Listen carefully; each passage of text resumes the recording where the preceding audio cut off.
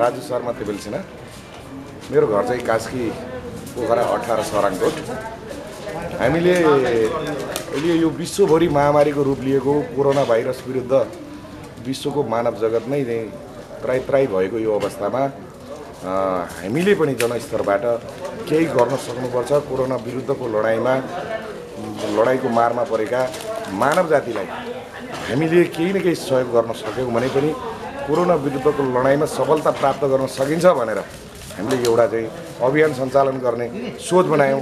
चार पाँचजना साथी भएर जस्तै चाहिँ हाम्रो साथी जनकराज पराजुली विष्णु पौडेल भानुभक्त अधिकारी शिव थापा खेम तिमल सिन्हा विष्णु बराल लगायतका साथीहरूलाई हामीले चाहिँ छलफल गरेर अब यसलाई कसरी अगाडि बढाउन सकिन्छ जनस्तरबाट यसलाई चाहिँ कोरोना विरुद्धको लडाइँमा हामी कसरी एकैबद्धता जनाउन सकिन्छ भनेर अगाडि बढ्ने सन्दर्भमा हामी महानगरपालिकामा यसको लागि महानगरपालिकामा स्वीकृतिको लागि गयौँ। महानगरपालिकाले पनि हामी जिल्लाको पोलिसी बुझिसकेपछि सरकारको पोलिसी के हुन्छ त्यसमा परामर्श गरेर हामी तपाईँहरूलाई चाहिँ यो बारेमा जानकारी गराउँछौँ भन्ने भयो। दुई तिन घन्टाको छलफल पछाडि महानगरपालिकाले हामीलाई चाहिँ क्वारेन्टाइनको विधि जुन छ कोरोना विरुद्धको लडाइँमा अप अप्नाउनु पर्ने जुन सावधानीहरू छन् ती सावधानीहरूको अधिकतम प्रयोग गर्दै अधिकतम प्रयोग गर्दै हामीले यो खाना खुवाउने अभियानलाई चाहिँ अगाडि बढाउनको लागि महानगरले चाहिँ स्वीकृति दिने निर्णय गर्यो र लगत्तै अस्ति आज तेस्रो दिनमा हामी चाहिँ अ, यो कार्यक्रममा सहभागी भइरहेका छौँ। कस्ता मान्छेलाई खाना खुवाइरहनु भएको छ हजुरहरूले? हामीले जो यो महामारीको सन्दर्भमा विभिन्न जिल्लाहरूमा विभिन्न जिल्लाहरूमा मजदुरी गर्दै भएका विभिन्न जिल्लामा गएर बस्नुभएका तर आफ्नो गन्तव्यमा पुग्न नसक्नुभएका लामो समयको लकडाउन पछि पनि उहाँहरू आफ्नो गन्तव्यमा नपुग्नु भएको सरकारले चाहिँ लागू गरेको क्वारेन्ट लकडाउनलाई पनि उहाँहरूले चाहिँ वास्ता नगरिकन आफ्नो घर परिवारसम्म पुग्नको लागि भनेर विभिन्न बस्तीहरूबाट उठेर जो गन्तव्यमा पुग्नको लागि बटुवाको रूपमा हिँड्नुभयो र ती बटुवाको रूपमा हिँड्दै गर्दा यो पोखरासम्म आइपुग्दाखेरि विभिन्न जिल्लाबाट आएका मानिसहरूलाई अहिले यो लकडाउनका कारणले पसलहरू पनि बन्द छ रेस्टुरेन्टहरू पनि बन्द छन् चिया पसलहरू पनि बन्द छन् जहाँ खानेकुरा केही पनि छैन त्यो खानेकुराहरू केही पनि नभएको हुँदा त्यो खानेकुरा पैसा छ गोजीमा तर चाहिँ किनेर खान पाएको छैन। त्यस्ता मानिसहरूलाई चाहिँ हामीले मूलभूत रूपमा ती मान्छेलाई मध्यनजर गर्दै हामीले यो अभियान सञ्चालन गर्ने उद्देश्य बनाएका थियौँ। सँगसँगै दैनिक चाहिँ जो मागेर चाहिँ जीविका उपार्जन गर्ने भिक्षु जोगीहरू यिनीहरूले पनि चाहिँ अहिले गैर जनताको घर दैलोमा माग्न सक्ने परिस्थिति छैन। ती मानिसहरूलाई जो विभिन्न जिल्लाबाट मजदुरको भएर कास्कीमा आएर बसोबास गर्नुहुन्छ उहाँहरूको ठेकदारको पनि ठेकदारले पनि उहाँहरूलाई वास्ता नगरेको रासन पसलमा पनि जाँदा हजार दुई हजारसम्मको पनि बाँकी पाउन नसकेको त्यस्ता महानुभावहरूलाई पनि हामीले चाहिँ खानाको व्यवस्थापन गरेका छौँ र सडक बाली बालिका मुख्यतः सडक बाल बालिका जसको घर बास छत केही पनि छैन ती मानिसहरूलाई पनि हामीले ख्याल गर्दै यो अभियान चाहिँ सञ्चालन गरेका छौँ र अधिकतम त्यस्ता खालका मानिसहरूलाई अहिले बिहान र बेलुका झन्डै तिन सय पचास ग्राम भात अनि तरकारी अनि दाल गरेर पाँच सय ग्राम जतिको एक टाइमको खाना बिहानमा हामीले बिहान चाहिँ नौ बजीदेखिबाट सुरु गर्छौँ त्यो बाह्र बजीसम्म हामीले वितरण गर्छौँ। र चाहिँ फेरि बेलुका चाहिँ चार बजेदेखिबाट सुरु गर्छौँ र चाहिँ छ बजेभित्रमा वितरण गरेको सक्छौँ उहाँहरूले नाम टिपाउने हो के गर्ने हो? हामीले सम्पर्क स्रोतको रूपमा यो स्वयंसेवी पौरखी समूह भन्ने जुन समूह हामीले यही परिस्थितिमा अहिले आएर हामीले तत् तात्कालिक हिसाबले एउटा समूह बनाएका छौँ। र त्यहाँ केही साथीहरूका पौरखी समूहका स्वयंसेवी समूहका साथीहरूको हामीले चाहिँ नाम चाहिँ र नम्बर चाहिँ त्यहाँ टिपाएका छौँ र सँगसँगै महानगरपालिकालाई पनि हामीले के अनुरोध गरेका छौँ भने महानगरपालिकाका सबै वडाहरूका वडा अध्यक्षज्यूहरू त्यहाँका जनप्रतिनिधिज्यूहरू महानगरपालिकाभित्र रहेका टोल विकास समितिका पदाधिकारीज्यूहरू नागरिक अगुवा समाजसेवी सबै प्रकारका चाहिँ मानिसहरूलाई ल है महानगरपालिकाले यो सूचना सम्प्रेषण गरिदिनु पर्यो। मिडियाकर्मी साथीहरूलाई पनि हामीले अनुरोध गरेका छौँ यो सूचना सम्प्रेषण गरिदिनु।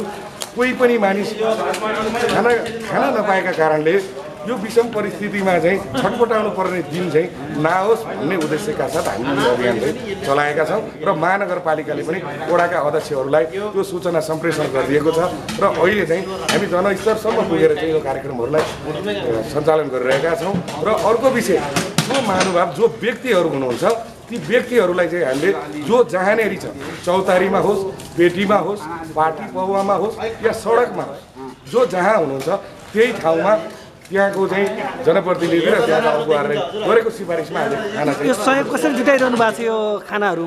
हजुर। यो खानाहरू कसरी जुटाउनु भएको छ यो खाद्यान्नहरू? अहिलेसम्म चाहिँ हामीले चाहिँ यही पौरखी स्वयंसेवी समूहका साथीहरू बाइस पच्चिसजना साथीहरू भइसकेका छौँ अहिले। यी साथीहरूले चाहिँ आफ्नो तर्फबाट सहयोग पनि गर्नुभएको छ। कतिपय सहयोगी मनहरूले हाम्रो तर्फबाट पाँच बोरा चामल हामी दिन्छौँ। दस बोरा चाहिँ चामल हामी दिन्छौँ दुई बोरा दाल दिन्छौँ भनेर पनि सहयोग गर्न आउनुभएको छ। कोही किसानहरूले हामीलाई तरकारी उपलब्ध गराउनु भएको छ र यसरी चाहिँ हामीले अहिलेसम्म यो अभियानलाई चलाइरहेका छौँ। यो नै छ अहिले। भनेपछि उहाँहरूले कन्ट्याक्ट गर्नुहुन्छ हजुरहरूले खाना उहाँको घरमै पुऱ्याइदिनुहुन्छ चौतारीमै पुऱ्याइदिनुहुन्छ? हजुर उहाँ जुन ठाउँमा जस्तो अवस्थामा हुनुहुन्छ त्यही ठाउँमा हामीले पकेट बनाउँछौँ। त्यहाँ चाहिँ हामीले प्याकेटिङ गर्दा तपाईँले यहाँ देख्न सक्नुहुन्छ। हामीले चाहिँ यो जुन ट्रे छ ट्रेमा चाहिँ हामीले चाहिँ प्याकिङ गर्छौँ खाना तातो छ तरकारी दाल भात अनि अब कतिपय अवस्थामा हामी गोल गोलबिडा हामीले पाएको खण्डमा त्यो गोलबिडाको चटनी पनि चाहिँ हामीले चाहिँ वितरण गरेका छौँ र यसरी नै चाहिँ यो अभियानलाई अगाडि बढाएको छौँ प्रतिक्रियाहरू कस्तो पाइरहनु भएको छ अहिले अहिलेसम्म सबै हिजो मात्र यहाँ मुख्यमन्त्रीज्यू आउनुभएको थियो गण्डकी प्रदेशको मुख्यमन्त्रीज्यू आउनुभयो माननीय ज्यूहरू पनि यहाँको चाहिँ रामजी बराल दिपक लगायतका चाहिँ राज्यका अनि महानगरपालिकाको मेयर उपमेयरहरू र कतिपय वडाका वडा अध्यक्षज्यूहरू पनि यही अभियानमा पनि जोडिनु भएको छ। उहाँहरूले हामीलाई असाध्यै हौसला पनि प्रदान गर्नुभएको छ र केही आवश्यक पर्यो भने हामी सहयोग पनि गर्न तयार छौँ भनेर उहाँहरूले वचन पनि दिनुभएको छ र अहिलेसम्म हामीले राज्यबाट चाहिँ जिन्सी अथवा आर्थिक हिसाबले कुनै सहयोग नलिकन आज तेस्रो दिनको कार्यक्रमसम्म आइपुग्दा स्वयस्फूर्त रूपमा यो कार्यक्रमलाई अगाडि बढाएको। छ यति बेला हामीलाई हेरेर बस्नुभएका दर्शकहरूलाई के भन्नुहुन्छ? हामी हाम्रो फेवा टेलिभिजन है।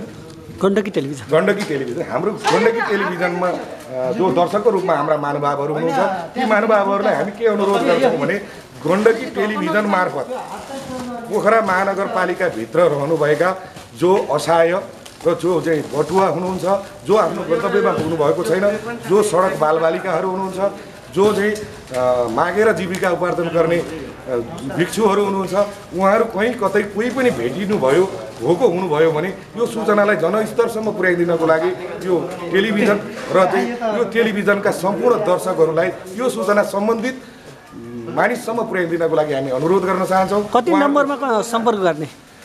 उहाँहरूले सम्पर्क गर्न सक्नुहुन्छ जस्तो कि मेरो नम्बर अन्ठानब्बे पाँच साठी पच्चिस छ छ जिरो हो हाम्रो जनक सरको चाहिँ अन्ठानब्बे पाँच साठी पच्चिस चार सय छ्यानब्बे हाम्रो भानु सरको अन्ठानब्बे पाँच साठी छैसठी पाँच सय दुई विष्णु सरको अन्ठानब्बे पाँच साठी पैँतिस जिरो बाहन्न हाम्रो शान्तिनगर ब्याङ्कुट प्रणालीका सञ्चालक प्रजापति अधिकारी जो यसको अभियन्ता हुनुहुन्छ उहाँको नम्बर चाहिँ अन्ठानब्बे पाँच साठी सैँतिस जिरो अडचालिस छ। यी नम्बरहरू थुप्रै साथीहरूका नम्बर छन्। हामीले चाहिँ कतिपय अनलाइनहरूमा हाम्रा नम्बरहरू पनि गरेका छौँ। यो मिडिया मार्फत अब अहिले त्यसपछि सबै लिस्ट चाहिँ हामी तपाईँहरूलाई उपलब्ध पनि गराउँछौँ। यी साथीहरूलाई सम्पर्क गरेर अथवा सम्बन्धित वडा जुन वडामा उहाँहरू हुनुहुन्छ त्यो वडाका वडाध्यक्षज्यूहरू महानगरपालिकाले एउटा आफ्नो नम्बर गरेको छ त्यो नम्बरमा सम्पर्क गरेर पनि गर्नुभयो भने र हामीले सूचना पाएको खण्डमा हामी त्यो ठाउँमा खाना उपलब्ध गराउँछौँ। हस् धेरै धेरै धन्यवाद छ यहाँलाई। हजुर हजुरहरूको टेलिभिजन र हजुरलाई पनि धन्यवाद।